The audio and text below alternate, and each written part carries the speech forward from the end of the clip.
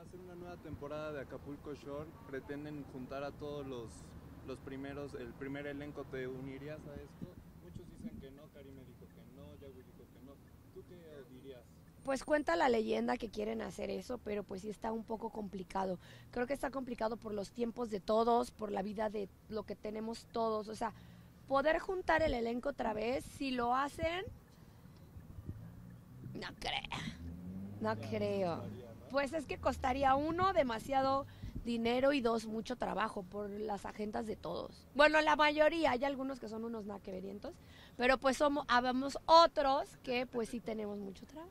Mucho más delgada, más afilada, algún tratamiento que te hayas realizado. Cero, ¿qué creen? Que acabo de ver que salió una notita de que yo me iba a cambiar las boobies. Pues no me las puedo cambiar. Mi doctor me dijo que no me toque, que así estoy bien. Tengo como contracturas y así, entonces, pues, ¿para qué moverle?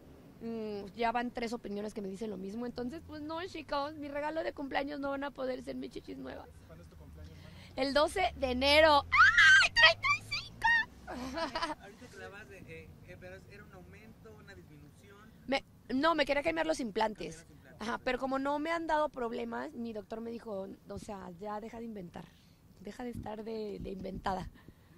¿Cómo has visto todos estos cambios de la, la revolución de la mujer? Porque hace muchos años era como tener el busto grande y actualmente se utiliza como ya más natural, ya sin tanto implante. Para ti, ¿cómo ves esta perspectiva de la mujer hoy en día? Que estoy harta que estén cambiando de moda, oye. O sea, uno se pone las chichis grandes y a los dos meses no, que ya son chichis chiquitas. Uno se pone las nalgas grandes y ahora que no, que ahora que fit. Entonces, oye, uno no puede estar cambiando tanto. Ya que dejen uno, una mujer así y ya, años, que no cambie. Porque eso de estarse cambiando. Cero, no tenemos planes. Este, de hecho hace muchísimo tiempo que no la veo, pero también veo que está triunfando la chica. Y pues cada uno anda triunfando por todos lados. eh, O sea, la verdad es que me da mucho gusto. Este, este, el cuerpo para ti, ¿qué es esta parte del estereotipo de la mujer? ¿Crees que todavía se sigue luchando por el cuerpo perfecto? ¿Y qué piensas también de esta inclusión, por ejemplo, certámenes de belleza que ya podemos ver a mujeres pues siendo mamás, a lo mejor oversize? ¿Qué piensas de toda esta inclusión de los certámenes de belleza?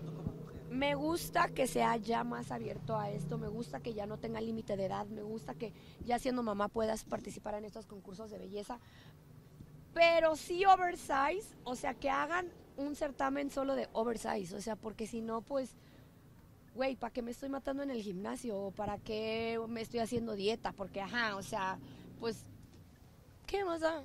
Total. O sea, siento que ya es un límite que es como, "Ah, tampoco. Que creo que mu- muchas se van a atacar con lo que acabo de decir, pero pues, o sea, también ni muy, muy, ni tan, tan. O sea, una tiene que cuidarse, chingarle en el gimnasio, en la dieta, pero que ya oversize. Oye, Mariani, ¿cómo ves que a Yagüi lo andan relacionando con Ferca? ¿Tú que lo conoces, crees que sea un hombre que se mete en una relación, como se está mencionando? No sé, no me interesa, si sí que les vaya bien y si no, también. O sea, yo tiene muchísimo tiempo que no tengo absolutamente nada que ver con ellos. Me llevo con ella hace mucho tiempo que no lo veo a él, entonces ni idea.